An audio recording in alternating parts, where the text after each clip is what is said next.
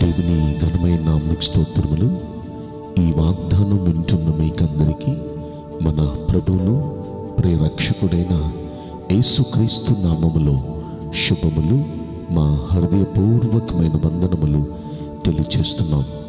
ఈరోజు దేవుని వాగ్దానం నిర్గమాకాండం ఇరవై మూడవ అధ్యాయము ఇరవై ఐదవ వచనం. ఆయన నీ ఆహారమును నీ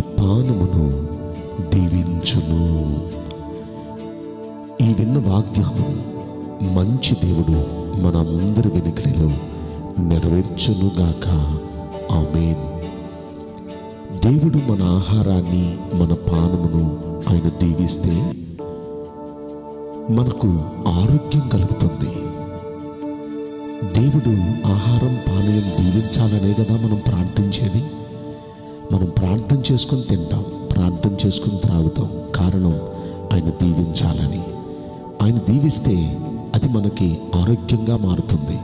లేకపోతే అదే విషంగా మారి రోగం వ్యాధిని తీసుకుని వస్తుంది. కనుక దేవుడు మన ఆహారాన్ని పానీయాన్ని దీవించి మనల్ని ఆరోగ్యంగా ఉంచాలంటే మనం ఏం చేయాలి? అలనాడు ఇజ్రాయేలీలకు దేవుడు కొన్ని నిబంధనలు చేశారు. ఆ నిబంధనలు వారు పాటించటం వల్ల వారికి ఈ వాగ్దానం చేశారు. ఏంటి ఆ నిబంధనలు అంటే పదవచనంలో మనం చూస్తాం. ఆరు సంవత్సరాలు మీరు భూమిని విత్తండి పంటను సమకూర్చుకోండి ఎంజాయ్ చేయండి. కానీ ఏడో సంవత్సరం మాత్రం మీరు పంటను కొయ్యొద్దు. అది పేదలకు వదిలేసేయండి. అది అనాథలకు వదిలేసేయండి. ఇక వారు తినగా మిగిలిన దాన్ని మృగాలకు జంతువులకి వదిలేసేయండి అని చెప్పారండి ఇది మొదటి నియమం. ఇంకా వారికి దేవుడు చెప్పిన రెండవ నియమం ఏంటంటే ఆరు దినాలు మీరు పని చేయండి ఆరు దినాలు కష్టపడి పని చేయండి కానీ ఏడో దినం మాత్రం ఎవ్వరూ ఈ పని చేయొద్దు. విశ్రాంతిగా ఉండండి. ఆ రోజు దేవుని దినం. దేవునికి ప్రతిష్ఠిత దినంగా ఆయన ఆరాధించండి. కానీ మీరు ఎవ్వరూ ఏ పని చేయొద్దు అని ప్రభులు వారు చెప్పారు. వారికి దేవుడు చెప్పిన మూడో మాట ఏంటంటే మీరు వేరొక దేవుని పేరు ఉచ్చరించొద్దు. అసలు మీ నోటిలో నుండి వేరే దేవుని నామం రాకుండా చూసుకోండి అని వారితో చెప్పారండి. వేరే దేవుని పేరు ఉచ్చరించకూడదు వారికి దేవుడు చెప్పిన మూడో నియమం. ఇక వారి దేవుడు చెప్పిన నే నాలుగో నియమం ఇరవై నాలుగో వచ్చును మనం చూస్తే వేరే దేవతలకు దేవుళ్ళకు సాగిలపడొద్దు పూజించొద్దు వాటిని ఉన్నని యొద్దు తొలగించేసేయండి. అంటే దాని అర్థం ఏంటంటే దేవునికి ఇష్టం లేనిది ఏది మీలో ఉండనియొద్దు దేవునికి ఇష్టం లేనివన్నీ తొలగించేసుకోండి అన్ని తొలగించేసుకోండి. ఇక ఐదవ మాట ఏంటంటే వారి క్రియల వంటి క్రియలు మీరు చేయొద్దు. విగ్రహారాధన చేసేవారు చేసే క్రియలు మనం చేయకూడదు. వారు ఏ క్రియలు చేస్తారు? అమావాస్య పౌర్ణములు వారు పాటిస్తూ ఉంటారు. మంచి రోజులు చెడ్డ రోజులని పాటిస్తూ ఉంటారు. ఆ మాసం ఆషాఢ మాసం అని ఇంకొక మాసం అని ఇట్లాంటి వారు పాటిస్తూ ఉంటారు. ఇక అది ఎదురొచ్చింది ఇది ఎదురొచ్చింది అంటూ ఇలాంటి వాటన్నిటిని శకునాలని అన్నిటినీ చూసుకుంటూ ఉంటారు. అలాంటి వాటిని దేవుణ్ణి నమ్మిన వారు పాటించకూడదు.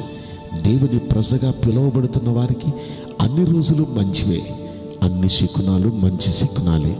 ప్రతి గడియ కూడా మంచి గడియే. కనుక ప్రతి గడియను ప్రతి దినాన్ని అది శుభదినంగా శుభ గడియలుగా మనం ఆనందించాలి. తిథులు నక్షత్రాలు వీటిని మనం వారిలాగా పాటించి ఆ క్రియలు మనం చేయకూడదు. ఈ ఐదు మంచి పనులు మనం చేస్తే మన దేవుడు అంటున్నాడు నేను మీ ఆహారాన్ని మీ పానీయాన్ని నేను దీవిస్తాను అని చెప్తున్నారండి. కనుక మంచి దేవుడు వింటున్న మనందరినీ దీవించాలంటే ఈ ఐదు మనం ఎందుకు పాటించకూడదు? మనం మన దేవుడు మనకిస్తున్న ప్రతి దానిలో మనం ఆనందిద్దాం ఆరు సంవత్సరాలు ఎంజాయ్ చేద్దాం ఆ ఏడవ సంవత్సరం దేవుని నామం పేరట పంటను మనం పేదలకి అప్పగిద్దాం. కొంతమంది పేదల్ని మనం ఆదరిద్దాం. ఒకవేళ మనం పంటలు వేయలేకపోవచ్చు వ్యవసాయం మనం చేయలేకపోవచ్చు మనం మనకిచ్చిన రాబడిలో మనకిచ్చిన దానిలో కొంత మనం పేదలకు మనం వారికి ఇస్తూ ఉంటే అది దేవుడు మనల్ని చూచి ఆనందిస్తాడు. వాటిని బట్టి దేవుడు మనల్ని ఆశీర్వదిస్తాడు. పేదల పట్ల దయ చూపించాలి. రెండవది మనం చేయాల్సిన పని ఆరు దినాలు కష్టపడి పని చేద్దాం. కానీ ఏడో దినం అది విశ్రాంతి దినం. దేవుని సన్నిలో మనం ఆరాధిద్దాం. ఆయన సన్నిలో మనం ఆనందిద్దాం. ఆయన్ని మనం సన్నుతిద్దాం అలా ఒక నియమం పెట్టుకుందాం. మూడవది ఏంటంటే వేరే దేవతల పేర్లు దేవుళ్ళ పేర్లు మనకెందుకంటే వారి పేర్లు వాటి ఊసు కూడా మనం ఎత్తొద్దు. మన దేవుని నామాన్ని ఉచ్చరిద్దాం. మన దేవుని నామాన్ని స్మరిద్దాం. మనకు అది ఆశీర్వాదకరంగా ఉంటుంది. నాలుగవది ఇక వేరే దేవునికి ఇష్టం లేనివి ఏవి? మనం మనలో ఉండనియొద్దు అది మనం తొలగించేసుకుందాం దేవునికి ఇష్టం లేని అన్నీ మనం తొలగించేసుకొని ఆయనకి ఇష్టలుగా మనం మారిపోదాం.